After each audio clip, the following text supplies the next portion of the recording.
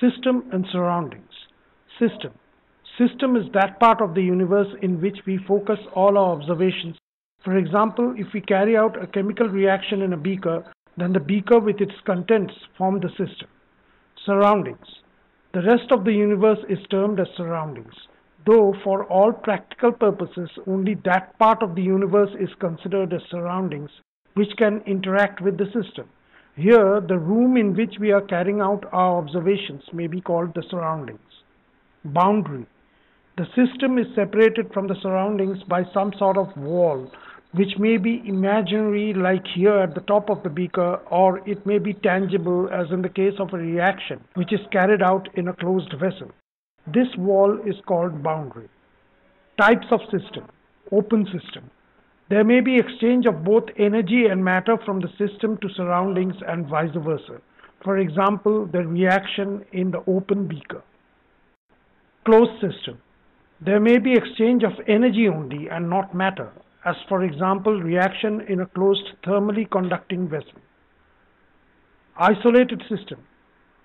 There is no exchange of energy as well as matter, for example a reaction carried out in a well insulated sealed container having reflecting surface to ensure proper radiation shield as well. Extensive and intensive properties. If we imagine a system to be divided by an imaginary surface into two parts, any property of the system that is sum of the property of the two parts is an extensive property. Example, mass, volume, amount, energy, etc. The properties which have the same value in each part and also the whole is called an intensive property. Example, pressure, temperature. Some properties like density and concentration are also intensive.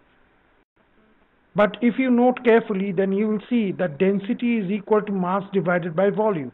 Here, mass and volume are both extensive, and concentration is equal to amount divided by volume. Again, both amount and volume are extensive. From this, we conclude that ratio of two extensive properties can become intensive. To make things more simple, most of the extensive properties are divided by the amount to get the molar quantities or molar properties and they become intensive. For example, molar volume is equal to volume divided by the number of moles. The symbol of extensive quantity is subscripted by small m. State function.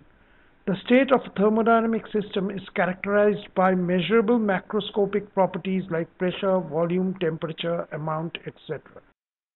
These variables are called state variables or simply state functions because they depend on the state of the system and not on how the state is reached. Therefore, in cyclic processes where the starting and ending states are the same, the change in state function is always equal to zero. Internal energy of a system. It is the sum of the kinetic and potential energy of the system. For ideal gases, there is no interaction between molecules and potential energy may be taken as zero. According to kinetic theory of gases, the kinetic energy is proportional to the temperature. Thus, internal energy is also proportional to the temperature for an ideal gas. And for isothermal process, the change in internal energy will be zero. Internal energy is designated by the letter U. It is quite impossible to measure the internal energy of a system. What we measure is the change in internal energy from one state to another. This is a state function and for cyclic process delta U equal to 0. Internal energy of a system may be changed by number 1 doing some work on the system which is positive or work is done by the system which is negative. Number 2 by supplying heat to the system which is positive or by taking out heat from the system which is negative. Number 3 doing both of the above.